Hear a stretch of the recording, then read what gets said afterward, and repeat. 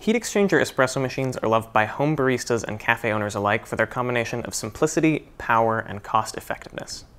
Over the past few years, more manufacturers have been upgrading their heat exchanger models with the addition of a PID. Many are familiar with the function of a PID on a machine with a dedicated brew boiler. They allow for precise, direct control over brew temperature. On a heat exchanger, it's a bit of a different story. Because HX machines heat water for brewing by passing it through a tube within the steam boiler, you aren't able to directly control brew temperature. Instead, the PID on machines like the Profitec Pro 500 is solely controlling the temperature of the steam boiler. When compared to the thermostat-based temperature control mechanisms on more traditional HX machines, this constitutes a substantial upgrade.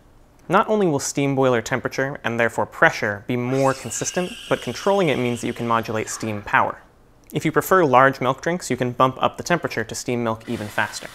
If you prefer small cortados or cappuccinos, reducing steam power will help keep that milk in the pitcher and give you a bit more control.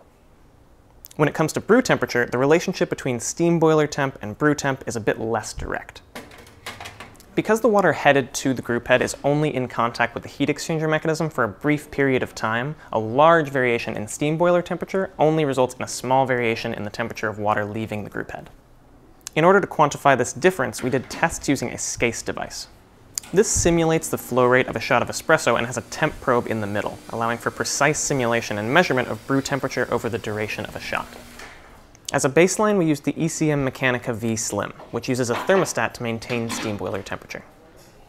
We compared this to the Pro 500 PID with its steam boiler set to 250, 255, 258, and 262 degrees Fahrenheit to get a clear picture of how much control over brew temperature you can get. With each, we started with a 7 second cooling flush, followed by three 30 second shots with 1 minute resting periods between them, taking the temperature every 5 seconds. Our findings show that while the relationship between steam temperature and brew temp isn't linear, it's certainly close. While both machines are quite temperature stable after a cooling flush, the Pro 500 PID gives you the ability to control brew temperature in a way that non-PID heat exchangers just don't. Being able to target consistent brew temperatures anywhere between 195 and 203 degrees Fahrenheit is super powerful. The ability to get temperature control nearing that of a true PID brew boiler is, in our eyes, well worth the price. If this video answered your questions about PIDs on heat exchanger machines, be sure to hit the like button. If it didn't, or if you have any other questions, I'd be glad to field them in the comments below. For more coffee knowledge, tap subscribe, and as always, thanks for watching.